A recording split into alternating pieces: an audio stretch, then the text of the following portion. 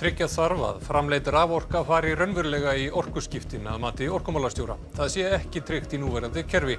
Breyta þurfi regluverkinu svo hæstbjóðandi gangi ekki fyrir í samkeppninni um græna orku.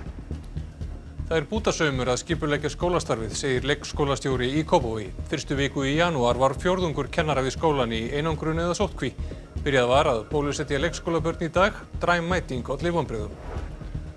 Fjárvera fjármálaráþera frá umræðu um frumvarp hans, það sem verið er að framlengja lánalínur, sögum alvarlegar stöðu fjölmarkra fyrirtækja vegna faraldusins, var harðlega gaggrind á alþingi í dag og hann sagður sína þinginu vanverðingu. En hefur ekki verið staðfest hversu miklu tjóni eða mannfalli flóðbylgjanolli sem skall á Tonga á laugardag. Lofslagssérfræðingur segir sprengi í gósið sem kom flóðinu af stað líklega ekki hafa verulega áhrif á lofslag. Arfgerð sem veitir viðurkenda vörn gegn riðu hefur fundist í fyrsta sinn í íslensku sauðfé. Sex kindur á bænum Þernunesi við Reyðarfjörð bera genið og líklega fleiri ættingjar þeirra.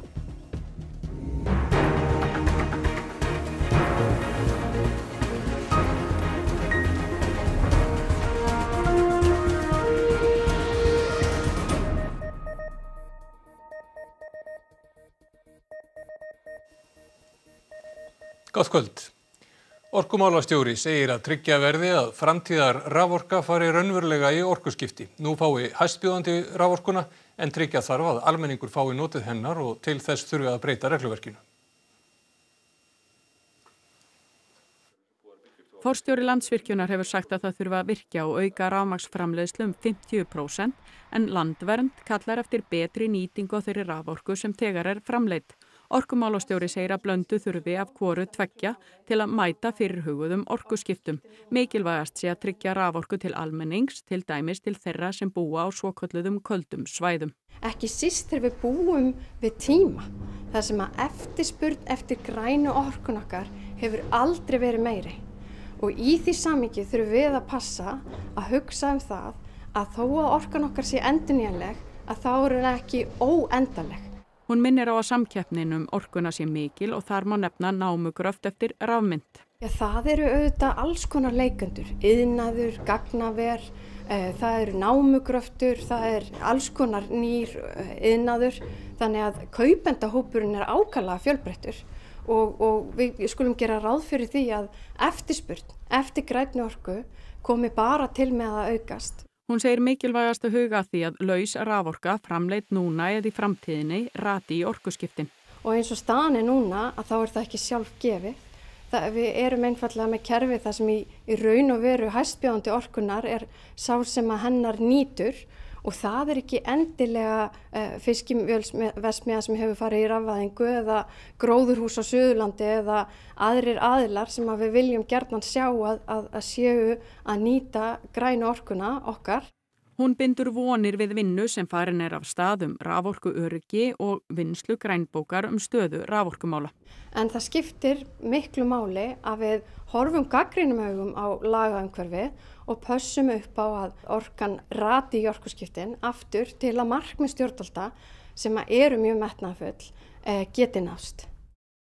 Það er erfitt að skipuleggja skólastarfið, segir leikskólastjóri í Kópavogi. Þetta sé bútasaumur allan daginn. Fyrstu vikuna í janúar var fjórðungur kennara leikskólans í einangrun vegna smitts. Í dag var byrjað að bólusetja leikskólabörn en aðsókn olli vonbröðum, segir hjókunarfræðingur hjá heilsugjæslu höfuborgarsvæðisins. Um 2700 börn á höfuborgarsvæðinu hafa fengið bóðum bólusetningu. Það hefur gengið mjög vel en við hefðum viljað sjá betri mætingu með börnin. Um 120 börn mættu í dag en mörg þeirra áttu að koma í síðustu viku. Við bóðum 400-500 í dag, öll börn sem eru fætt í janúar og februar, svo að þetta er svona frekar, já, þetta er vonbreiði. Hver er skýringin? Já, það er bara ómöld að segja. Eflaust eru mörg börn í, í sótkví eða einogrum, það skýrir allavega hluta af þessu.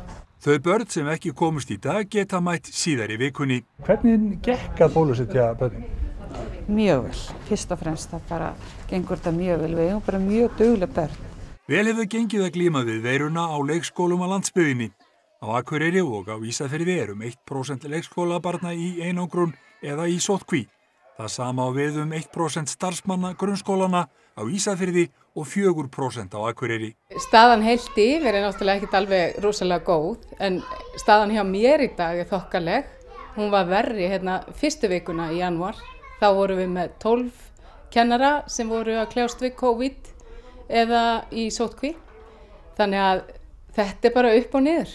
Hún segir að leikskólakennara sé orðin flinkir að bregðast við margvíslegum áskorunum.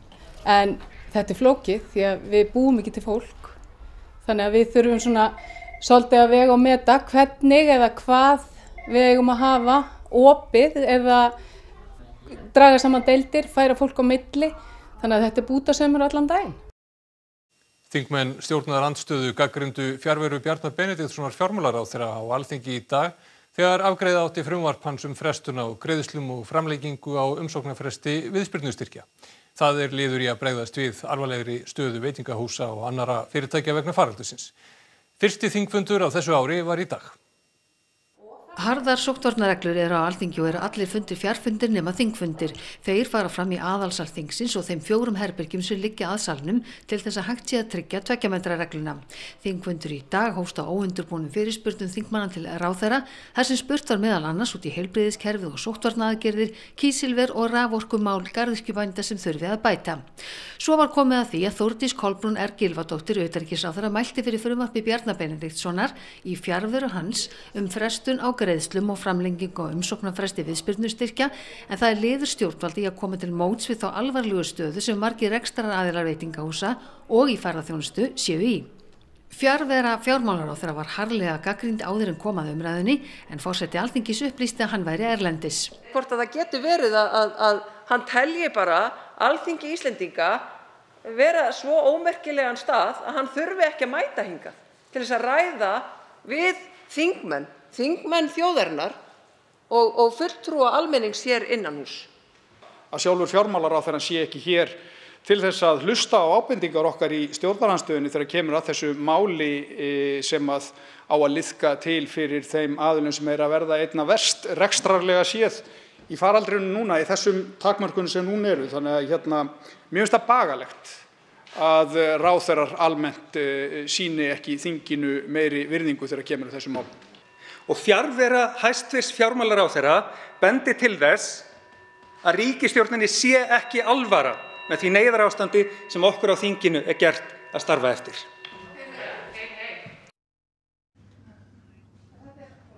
Já, þetta var á alþingi núna Þetta var á alþingi núna síðdeis, það var ekki hlið á þingfundu klukkan hálf sex og efnaðs og viðskiptanum þingsins geti fundað. Það hlið stendur enn þar sem að nefndin sittur enn eða er á fjárfundi eins og allir fundir núna vegum alþingis. En hingað við fengið til okkur Þórtis í Kolbrúnu, utarkisáð þeirra sem er staðgengil Bjarnar Benediktsdóttur sonar hér í dag, hér á alþingi. Það hefur komið fram að Bjarni er í fríi útlöndum og þessi harða gaggrinni á það. Er þetta ekki bara réttmænt gaggrinni þegar að svo mikið er í húfi? Mér finnst það nú ekki. Um, það sem við erum að, að fjallum hér og afgreða er uh, dagsettingamála því leiti að við erum að gefa uh, ákveðnum aðlum kost á því að fresta tveimur gjaldugum. Það er það sem er í frumarfi hér til umfyllunar í dag og, og það að ráþur eftir að hafa staði vakt í tvö ár uh, farið með fjölskyldunum sinni í, í nokkra daga um, eftir hérna, COVID-einangrun og, og, og fram að því að þing kemur saman finnst mér ekki einn stórt mál og gert hefur úr hér. Um, þannig að nei, mér finnst það nú ekki. En það var líka verið að gaggrina heilmart hér í umræðinni í dag. Það var spurt um frekari aðgerðin svo hlutabóta leiðina eða lokunarstyrki. Hverju eiga fyrirtekin vona á næst frá ykkur? Já, við höfum auðvitað verið alveg skýr með það frá upphafi að hérna, gera frekar meira en minna og ég skil það alveg á skinja að, að það eru, fólk eru þreytt á þessu eins og öðrum þáttum þegar kemur að COVID. En hér erum við með þetta úrreði sem er þá bæði til þess að bæta svona lausafjörstöðu þessara aðila og koma í veg fyrir að þau þurfa að segja upp fólki yfir þetta tímabil. Svo er verið að, að hérna, ganga frá ákveðinu frekari vinnu og hluta því kemur fyrir ríkistjórn á morgun og verður vonandi bara tilkynnt strax í kjölfarið og það snýra því að við höfum verið að horfa þessa geira sem að hafa, eru ennþá að glýma við tekjufall og geta ekki aðtapna sem er sama hætti og aðrir vegna bæði COVID og svo kannski ekki síst vegna okkar aðgera um, og takmarkana sem við setjum. Þannig að það snýra menningargeirunum, uh, viðbröðhöldurum og svo er ákveðnir hérna, styrkir þegar kemur að veitinga rekstri almennt. Þannig að það er frekari styrki, það er ekki engungu þessi frestun og gjaldögum, heldur sömulegis viðbúta styrkir. Vona þessu bara allra næstu dögum. Þórtís Kolbrún, takk kærlega fyrir að gera þetta og koma enga til okkar í beina útsendingu í Alþingi. Þingfundur hefst sennilega hér aftur klukkan 8 og það stendur til að afgreða þetta frumvarsi lög frá Alþingi hér í kvöld en við ætlum að segja þetta gott að sinni. Takk fyrir þetta, Jóhanna Vigdís. Og það verður áframhald á þessari umræðu í Kastljósibaldin. Já, við ætlum að ræða um þörfina á frekari stuðningi við þau fyrirtæki sem samkomu takmarkanir hafa bitnað hérna verst á við þrjá fulltrúa stjórnarandstöðunar. Það er hannu Katrínu Fridriksson, Ingu Sæland og Kristrúnu Frostadóttur. En við ætlum einnig að ræða við Íbú og Súðavík sem aðstóðaði við að losa bíla eftir snjóflóði sem fjett í Súðavíkurhlíði í gerkvöldi. Þátti heim. Ættingjar íbúa á Tonga býða enn fregna af afdrifum ástvinna sinna eftir flóðbylgjuna sem fór á staði í kjölfar Mikils Sprengigos skamt norðan stæstu eigu eigaklassans og höfuborgarinnar. Tvær konur druknuðu í Peru af völdum bylgjunar. Tveir dagar eru síðan flóðbylgjan fór af staði í kjölfar stæsta Sprengigos í rúma öld á eldfjallinu Hunga Tonga Hunga Ha'apai. Bylgjan skall með miklum krafti á eigaklassanum Tonga og náði reyndar um allt Kirrahafið. Meðal hann að struknuðu tvær konur í Sisko í Peru þegar flóðbylgjan hreyf þær með sér á ströndinni þar. Á nærlíkjandi stöðum flæti einnig inn í hús til dæmis veitingastadi. En það hafa enn engar staðfestar fréttir borist af afdrifum fólks á Tonga, þar sem net og símasamband rofnaði. Skilabóð sem hafa borist frá íbúum í gegnum gerfinhattasíma og net bera vottum mikla eðileggingu.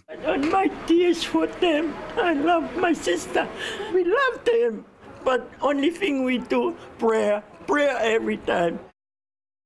Þá hefur þessi mikla aska þau áhrif að vassból eru menguð, auk þess sem erfitt er að koma hjálpargögnum á staðin. Yfirvöld í Ástralíu og Nýja Sjálandi sendu þó flugvélar á staðin í morgun til að meta aðstæður þegar staðfest var að flugvöllurinn hefði ekki skemst alvarlega. Áhyggjur vöknuðu strax um að askan hefði áhrif á loftslag heimsins eins og dæmi eru um í sambærilegum gósum. Þetta gós tikkar í þessu bóks. Það er í hittabeltinu, það er alveg ábáðslega upplugt að því að þrýstibilgjan er búin að fara tvisasinni með kringum hnöttin núna uh, og maður myndi halda að það ætti þess að hafa alla réttu möguleikana. En þetta er öðruvísi að tvennuleiti. Mökkurinn er ekki jafn hátt og það er ekki mikið af brennisteinsvetni í honum. Og, og það í skýi sem núna er sennilega þá að byrjast yfir Ástralíu eða eitthvað álíka og, og mun bara hverfa á næstu, ár, næst, næstu hérna, vikum, dögum og vikum. Það er komna núna tvær eða þrjár góðar mælingar á sulfur. Það eru allar sammálum að það séf tiltal lítil brennisteinn í, í skíinu og hérna svo verðum við að bara sjá hvað gerist. En langt líklegast er að þetta mun ekki hafa verulega áhrif á lofslag. Sex kindur á Þernunesi við Reyðarfjörði eru líklega verðmættustu kindur Íslands en þær bera öflugt vopn, gen sem getur útrýmt riðu. Það er viður kent og notað með góðum árangri innan Evrópusamhansins. Bærin Þernunes stendur við sunnanverðan Reyðarfjörð. Bóndin þar, Steinn Björnsson, tók þátt í rannsókn þar sem markmiðið var að finna arfgerð sem verndar fjö fyrir riðuveiki. Greind voru um 4200 síni og þegar niðurstöður frá Þernunesi lágu fyrir rákum henn upp stóru augu. Þar var komið svo kallað ARR afbreyði. Það sama og viðurkendi er hjá Evrópusambandinu sem gerir fjö ónæmt fyrir riðu. Arfgerðin er í að minnstakosti sex kindum. Tvær þeirra fengur nafngift í höfuðið á ráþerranum Katrínu og Svandísi. Hvaðan heldur þetta komi? Þetta gæti komið frá kind frá Kambi sko, sem er keiftar 2013 eða bara úr gamla stofnunum hérna, fjárstofnunum hérna frá þernunum sko. Það var aldrei skorið niður hérna verið á svona tíma. Og ef þetta reynist komið þarna frá Kambi þá gæti þetta verið víðar á land? Já, já, ég held að þetta hljóti eiginlega að vera víðar annarkot að það veri vestan eða, eða í einhverjum svona gömlu hjörðum sem voru aldrei skortnað niður við riðu sko. Nú er leigið yfir ættar trjám kinda frá Þernunesi og einnig kambi í Reykjólasveit. Verðmætastur er lamprúturinn sem fættist í vor og ber nafn með rentu Gimstein. Hann á líklega eftir að geta af sér mörg afkvæmi, en hann og ærnar 5 þykja þessutan verulega góðir grepir. Hver verða nú svona næstu verkefni hjá uh, Gimsteini? Já, bara halda lífi held ég fram á haustið sko, eða, eða já, það er bara, ég veit ekki, ég veit ekki, já, hvort það endar á sæðingastöðu, það er, það er svona, allir verið ekki að skoða það eitthvað núna í framhaldinu sko. Áður hafði reyndar fundist önnur arfgerð sem ítalskar rannsóknir benda til að verndi fíð þar í landi, en það gen hefur enn ekki verið viðurkent. Fundurinn á Þernunesi þykir því valda strömmkvörfum í baráttunni gegn riðu. Fá þessar kindur eitthvað sérstætt allæti eða svoleiðis að það er ekki að passa þær vel? Jó, allir, við erum ekki inn í bómul núna eftir, eftir þetta sko. Það reyna að passa, jú, jú, ég reynir svo að passa þær eitthvað betur núna þá eftir, eftir þessi tíðindi sko. Sveitarstjóri í Súðavíkurhreppi segir ástandið í Súðavíkur hlýð ekki engamál heimamanna og að einungis sé tímaspursmál hvenar illa fari. Óvísu stíi vegna snjóflóðahættu þar var aflétt, nú rétt fyrir fréttir. Fólk beigði í röðum eftir því að komast Súðavíkur hlýð og Eyrar hlýð þegar vegirnir voru opnaðir þar í dag. Þá höfðu þeir báður verið lokaðir í meira en 12 tíma vegna snjóflóðahættu. Útvega þurfti 28 mann sem voru á norðurleið gistingu í Súðavík. Nú er COVID í gangi og það eru tíu manna fjöldartakmarkanir og þá er um að gera að opna eins marga staði og hægt er og ég held að við höfum deilt fólki nýri í fjóra staði og auk þess að menn gistu í bílum, atvinnum bílstjórar og, og jafnvel í bátum, þannig að það sé sagt. Minnst sex snjóflóð fjallu í Súðavíkur hlýði í gær og í nótt en þar er enn óvissustígi líst yfir. Losa þurfti bíl sem festist í einu flóðinu. Ófærið og snjóflóðahætta eru tíð á svæðinu og segir bræi heimamenn þreytta á þessu langvarandi ástandi.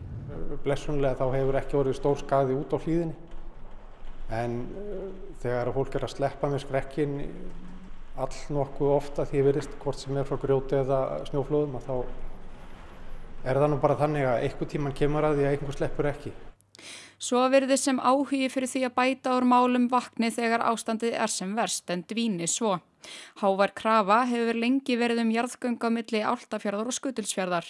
Þau eru þó ekki í samgöngu á allin stjórnvalda og breyting á núverandi ástandi því ekki sjáanleg. Þetta verist svona að vera eins og þetta sé engamál okkar hér. Við erum 200 manns í hreppnuleglega En það er nú ekki raunverulegur akstur um þessa hlýð en það, eins og ég segi, það eru þungaflutningar, það er fólk á ferðinni sem að keiri milli Ísafjörðar, Bólungavíkur, Reykjavíkur. Það segir sér sjálft að það eru talsvægt fleiri bílar heldur frá Súðavík sem fara þarna undir. Ekki er hægt að útiloka að byrgjar hér á landi verði uppiskroppa með farsóttarvörur eins og grímur, hanska, hlýðarbúnað og heimapróf. Framleiðendur eru flestir í Asíu og afhendingatímin er 2-3 mánuðir. Frambúð og eftirspurn sveiflast hratt. Litlu munaði að heimapróf seldust upp hér á landi í síðustu viku. Herman Guðmundsson er fórstjóri Kemi sem flytur inn hlýðafatnað, andlitskrimur, heimapróf, einnóta hanska og spritt fyrir almenning og öndunarbúnað og fleira fyrir spítala. Hann segir að í byrjun árs hafi farið að gæta á vöruskorti hjá byrgjum heilsulunar í Evrópu sem hafði áhrif á frambóðu hér. Ísland hafi komist nær því að vera próflöst um tíma í síðustu viku. Megnið af COVID-tengdum vörum sé framleitt í Asíu. Þegar eftirspurnin markfaldast á skömmum tíma eins og nú hafi gerst, haldi vöruhús og heilsalar í Evrópu ekki í við eftirspurnina. Frambóð og sóttvarnavörum geti tekið snöggum breytingum þegar slakað er eða hert á takmörkunum í fjölmennum ríkjum. Einhver merkir um að omikronbylgjan sé á niðurleið sumstaðar og þá breytast snögglega möguleikar á byrðastöðu heilsalana hér á landi. Herman telur að þessar sveiblur muni endur taka sig fram að páskum hið minsta. En þú heldur ekki að komi hreinlega eitthvað svona eyður inn í þetta þannig að það verður bara hreinlega ekki fáanlegar? Jú, það gæti alveg gæst. Það gæti gæst? Það gæti alveg gæst, já, já. Það er ekkit langt síðan að ég þurfti að fara til Kanada til þess að kaupa grímur vegna þess að okkar byrjar í Európu orðnir tómir. Heimurinn er allur svolítið í sömu vandraðanum að hérna, framleiðendur eru fáir og eru flestir í Asíu og aðfangukæðin er laung. Þannig að það tekur langan tíma ef þú verður vörulaus að fylla aftur í bíbunar. Petro Poroshenko, fyrirverandi fórseti í Úkrænu, var í dag letur fyrir rétt vegna ásakana um landráð. Poroshenko var ákjærður í desember fyrir að hafa í fórsetatísinni aðstóðað aðskilnaðar sinna í austur Úkrænu við að selja kól til að fjármagna starfsemiðra. Hann fór til Varsjári eftir að ákjærunar voru gefnar út en snýri aftur heim í morgun að sög í þeim tilgangi að verja landið fyrir yfirúafandi árásum rúsa. Hann var síðan letur fyrir dóm þar sem ákveði var að hann gengi laus gegn 35 miljóna dólara tryggingu. Poroshenko sem létt af fórsetaembætti 2019 neytar að hafa gert nokkuð af sér. Allt stefnir í að heimilt verði að selja áfengi í hlýðarfjalli í vetur eftir að bæjaróð tók jákvætt í erindi síslumann sumálið. Fórstuðum að hlýðarfjalls hefur ekki áhyggjur af fylliríi í brekkunum. Síslumæðurinn á Norðurlandi eistra óskaði í síðustu viku eftir áliti frá bæjaráði Akureyrar vegna umsóknar veitingaaðila í fjallinu um vínveitingaleifi. Bæjaráð tók jákvætt í erindið að undanskilinni Sóleju Björk Stefánsdóttir fulltrúa vinstri grætna. Hún segir sölu áfengis í fjallinu á engan hátt viðeigandi. Það er spurning hvort við erum að líta á fjallið sem sko, viðskiptafyrirbæri eða útvistarsvæði og í mínum huga þá á það fyrst og fremst að vera útvistarsvæði. Þannig er auðvitað verið að setja annan tón en sko, ég tel ekki að, að þetta fari mjög vel saman til dæmis að senda krakka eina upp í fjall eins og við týðkast mjög lengi og bara einn af þessum luxur sem við að búa á Akureyri. Þetta, þetta grefur svolítið undan því. Forstuðumadur í fjallinu deilir ekki sömu áhyggjum. Það var bóðið út og, og, sá aðlinn alltaf hefur áhuga að vera með innveitingarleifi og, og sem, sem rekstraðalið þarna þá sé ég bara ekkert aðtöðast við það. Þú hefur engar áhyggjur að, að verði bara húrandi fyllir í þarna í brekkunum? Nei, ég held að fullari fólk sem sækir fjallið er ekki að, að því til þess að, að detta í það. En auðvitað, veist, með þessu er verið að normalisera áfengisneislu hér á staðinum og það er bara eðlilegt að hún verði meiri. Það hlýtur að gerast. Á síðasta ári fekk þáverandi rekstraraðili vínveitingaleifi sem var í gildi í nokkrar helgar áður en svæðinu var lokað. Brynjar segir það ekki hafa skapað neyn vandamál. Og ég veit allavega að við gerum þetta nokkuð góðu samstarfi við laurugluna og hún var duglega að taka menn í test á setnipartinn þegar fólk var að fara heim í fjallinu og, og gerði það margar helgar í röð og svo best sem ég veit þá kom ekkert úr því. Það var enginn sem var, var tekinn. En það er hvort sem það er áfengisala í fjallinu eða ekki, það er ekkert vitið að skýða ölvaður? Nei, og það er afskaplega lítið um það eiginlega bara, það, það gerist afar sjaldan. Og frá snjórum þetta í hlýðarfjalli lítum við til veðurs. Í kvöld og nótt reyður smá saman úr vindi og úrkomu á landinu. Á morgun verður vindur vestlægari og kólnar í veðri. Dálítil jél um landið vestanvert í fyrramálið en norðanátt og jélægangur norðan til annað kvöld en léttir þá til síðra. Elin Björk Jónasdóttir veðurfræðingur fyrir nánar yfir veður horfurnar þegar að Helga Margrét Höskursdóttir hefur sagt okkur íþrótafréttir. Ísland vann Holland í öðrum leiksínum á Evropamótun í handbolta í gerðkvöld. Liðið er þó ekki örugt áfram í milliriðla. Línur eru farnar að skýrast frekar á Evropamótinu. Svartfellingar triður sig áfram í milliriðla á dramatískan hátt í dag. Og Novak Djokovic er komin heim til Serbíu eftir að vegabrefs áritun hans var gerð ógild öðru sinni í Ástralíu. Þá ætlum við að fara yfir það sem var helst í þessum fréttatíma. Tryggja þarf að framleitt raforka fari raunverulega í orkuskiptin að mati orkumálastjóra. Það sé ekki tryggt í núverandi kerfi. Breyta þurfi regluverkinu svo hæstbjóðandi gangi ekki fyrir í samkeppninu um græna orku. Fjárvera fjármálaráðherra frá umræðu um frumvarp hans það sem verið er að framlengja lánarlínur sökum alvarlegar stöðu fjölmarkra fyrirtækja vegna faraldusins var harlega gaggrind á alþingi í dag og hann sagði sína þinginu varverðingu. En hefur ekki verið staðfest hversu miklu tjóni eða mannfalli flóðbylgjan olli sem skall á Tonga á laugardag. Lofslagssérfræðingur segir sprengigosið sem kom flóðun af stað líklega ekki hafa verulega áhrif á lofslag. Arfgerð sem veitir viðurkenda vörn gegn riðu hefur fundist í fyrsta sinni í íslensku söðfi. Sex kindur á bænum Þernunesi við reyðarfjörð byrja genið og líklega fleiri ættingerðir. Næstu fréttir verða í sjóarpi og útvarpi klukkan 10 í kvöld og vefurinn rú.is er uppfærður allan sólarhingin. Þessum fréttatíma er lokið. Verið sæl.